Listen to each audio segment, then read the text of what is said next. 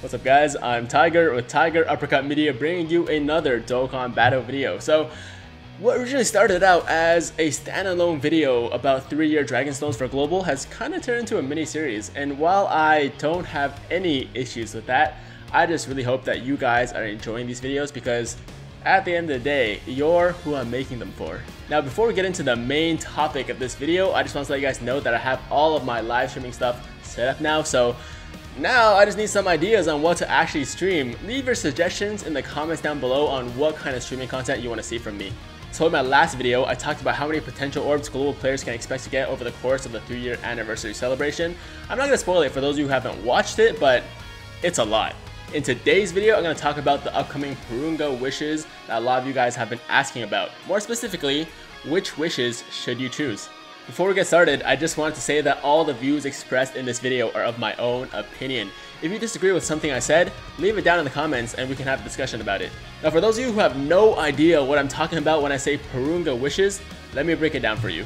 When the 3 year anniversary comes to global, we'll be able to acquire special Namekian Dragon Balls. Every single day, you'll get one clue to acquire one ball, and once you collect all 7 Namekian Dragon Balls, you'll be able to summon Porunga and make some wishes. Since this video is all about the best wishes you can choose, I'm going to refrain from going into detail about how each ball can be acquired.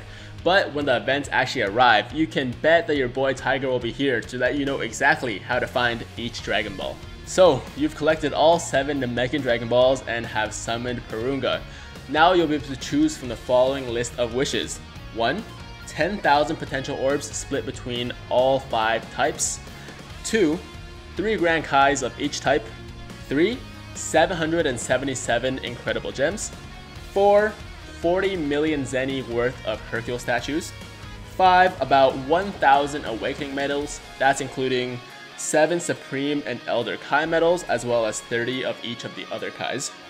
6, 700 of some of the most useful support items. That's things like Whis, Ghost Ushers, and Android 8s. And 7, a ton of training items and training locations, including 50 of each type Platinum Shell, as well as 100 of each Z-Sword and 30 Gravity Chambers. So you'll be able to collect 3 sets of 7 Namekian Dragon Balls, summon Porunga 3 times, and make a total of 9 wishes. Needless to say, we'll be getting a ton of amazing free stuff. But before I get into the recommendations, I want to have some fun with this. Pause the video right now and comment which 3 wishes you think I'll be recommending. After that, finish watching the rest of this video and see if you were right. So I hope you guys made your picks because we're about to get down to business. Of course, when it comes down to these wishes, the most important factor is what you need personally for your account. For example, if you're really hurting for Zeni because you want to awaken that LR Broly you just pulled, then the Hercule statues are probably worth more to you than the average player. My recommendations today will be based off the wishes that provide the most value to the most people. Starting with wish number one, potential orbs. If you've been playing this game for any significant period of time, then you know that you can never have enough potential orbs. In addition, your ability to grind them is very limited. Every single day you can only do one stage run for one type and you're not even getting a lot of orbs per run. Alternatively, Porunga gives you a ton of orbs for each type and I would highly recommend everyone to choose this wish every single time. Wish number 2, Grand Kais. Next to Dragon Stones and potential orbs, Kais, in my opinion, are the third most valuable resource in the entire game. There will always be new units you'll need Kais for and you will never regret having too many Kais in your box. Also remember that LR Vegito and LR Gogeta don't have farmable super attacks, so you'll have to Kai them all the way up to super attack 20. Wish number 3. So I think this one's actually a little bit more open. You can't go wrong with awakening medals, training items, or support items. They're all very important and super key to growing your account.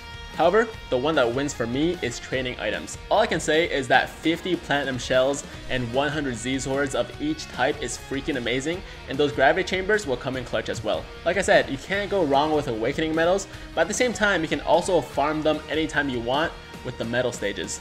So there you have it. To get the most value out of your wishes, I would go for Orbs, Kais, and training items every single time.